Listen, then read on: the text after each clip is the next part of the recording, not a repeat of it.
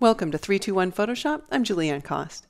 To avoid having to constantly reset commonly used values for our tools, we can set our preferred options and then save the settings as a tool preset.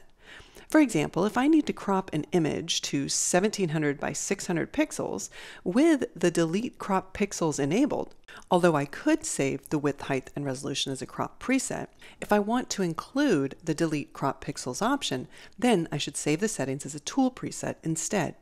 To do so, I'll click the tool icon and in the tool presets picker, click the plus icon and give the preset a name.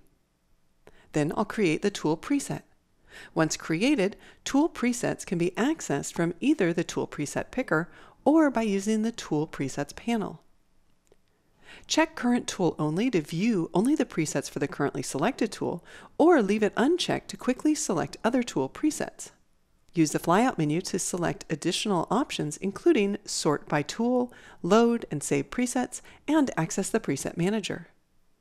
Choose Tools and drag and drop to reorder the presets. To use our new tool preset, I'll select it, drag out the crop, and tap Enter or Return to apply. I also find it helpful to create tool presets for the gradient tool to use in layer masks. I'll use the gradient editor to create a gradient from black to white,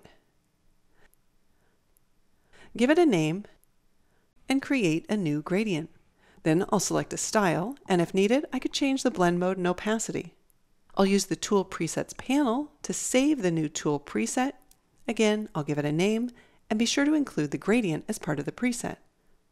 Once saved, I can quickly drag the gradient in this Curves Adjustment Layers layer mask to hide the curve in the center of the image. Many other tools, such as the Type and Shape tools and their settings, can also be saved in the Libraries panel. If you need to share assets and collaborate with others, be sure to check out all that the Libraries panel has to offer.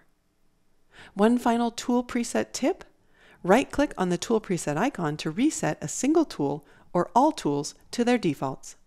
I'm Julieanne Kost. Thanks for watching.